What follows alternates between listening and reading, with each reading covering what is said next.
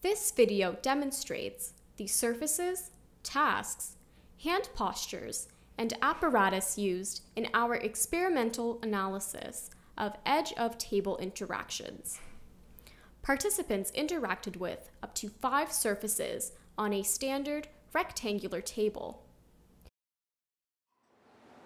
A one-dimensional top ridge, a small vertical front face, and a one-dimensional bottom ridge.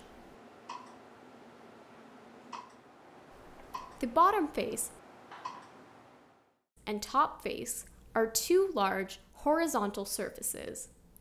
We include these surfaces to make meaningful baseline comparisons. Participants completed up to three commonly used touch input tasks tap,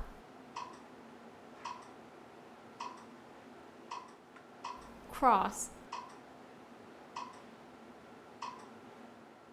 and drag.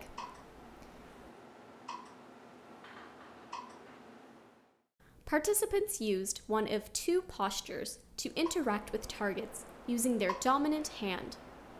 A pointing hand posture was used to select targets using the index finger. A braced posture was used to select targets using the thumb. Other fingers were placed underneath the table for this posture. A single 9.5 millimeter marker was placed on the participant's index finger or thumb. The finger's movements were captured using a commercial motion capture system. Targets were projected onto a standard table using a single projector. In our first experiment, we compared the speed and accuracy of all three tasks performed along all five table surfaces participants used the pointing hand posture. In the second experiment, participants used the braced posture to tap and cross through targets placed along the three edge surfaces.